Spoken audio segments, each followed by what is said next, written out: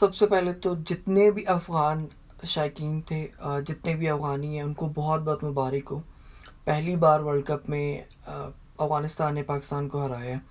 और 2007 में जब पाकिस्तान को पहला अपसेट मिला था आयरलैंड की तरफ़ से तो यूँ लगा था कि बस अब जो पाकिस्तानी टीम है, वो शायद दुनिया की जो बिल्कुल लो लेवल लो दर्जे की जो टीमें हैं, उनमें उनका शुमार होगा।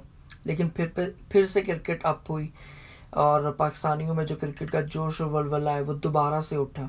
आज 2023 वर्ल्ड कप में अफ़गानिस्तान ने पाकिस्तान को अपसेट कर दिया। यूँ लग रहा था कि आज अफ़गानिस्तान से पाकिस्तान मैच जीतेगा और ऑस्ट्रेलिया से ऊपर आएगा, चौथे नंबर पर।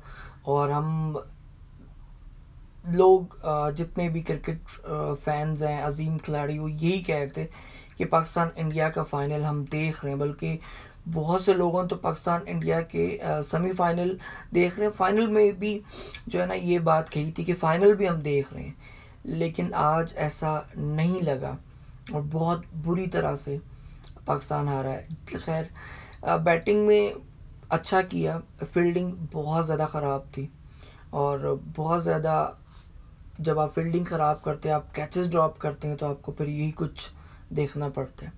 छः सात अफ़गानिस्तान के खिलाड़ी आउट हुए थे तो फिर भी हम कहते कि यार अच्छा खेलें। दो खिलाड़ी आउट थे जिन्होंने दोनों ओपनर्स ने फिफ्टी की। और पाकिस्तान टीम एक ही सूरत में आगे सेमीफाइनल में जगह बनेगी कि ऑस्ट्रेलिया दो तीन मैच हारे और वो ऐसा कभी भी नहीं होगा। और आगे जितने भी पाकिस्तान के मैच है वो टफ़ है। चाहे अब तो बांग्लादेश भी उन्हें टफ़ लगेगा। आगे न्यूजीलैंड है, साउथ अफ्रीका है इंग्लैंड है। और जो साउथ अफ्रीका है, वो तो चार चार सौ स्कोर से भी ऊपर जा रहा है। तो बहुत ही मुश्किल है। जितने ये पाकिस्तान की टीम, आप, अगर कोई ये कहे कि नहीं, इसको नहीं खिलाना चाहिए तो इसको खिला लेते, उसको नहीं तो इसको खिला लेते ऐसा नहीं है। ये नंबर वन टीम आई है।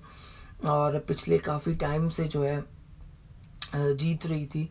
और जीत जीत के बाद ही इन्होंने अपना सफ़र किया। सिर्फ़ एक खिलाड़ी है जिस, जो नसीम शायद वो नहीं था। बाकी तो सारे वही खिलाड़ी थे। और मैच, मैं जब देख रहा था, पहले जो दस ओवर हैं, मुझे लगा कि जितने भी मेरे दोस्त बाकी मैच देख रहे थे।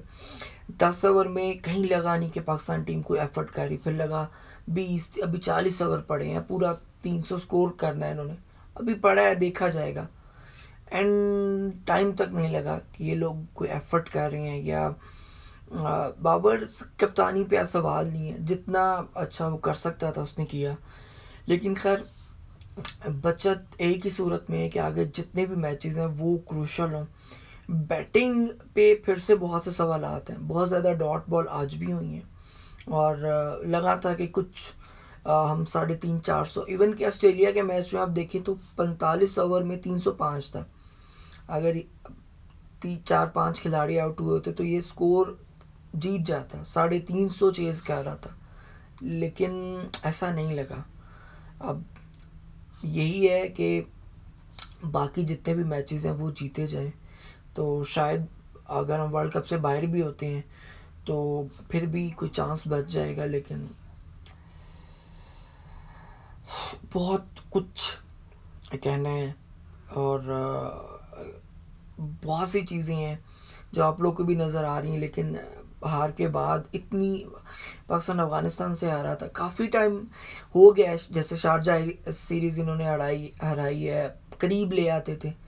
तो अब अफगान टीम बहुत जल्दी, हालाँकि कीनिया आयरलैंड, स्कॉटलैंड और जितनी भी ये नई टीमें हैं जिम्बावे उस, वो काफ़ी साल उनको हो गए हैं। लेकिन अफ़गानिस्तान अभी कुछ चंद साल हुए हैं और बड़ी टॉप की टीमों में जा रहे। इनका एक रिकॉर्ड हम देखने को जाएँगे। इंग्लैंड को पहले हराया पाकिस्तान को हराया है। आगे बड़ी बड़ी टीमों को इजी जो है ना, ये ग्रिप करेंगे और यही इनकी स्टार्टिंग है। खैर, पाकिस्तान के लिए यही बेहतर है कि आगे जितने मैच हैं वो जीते और बहुत मुश्किल है।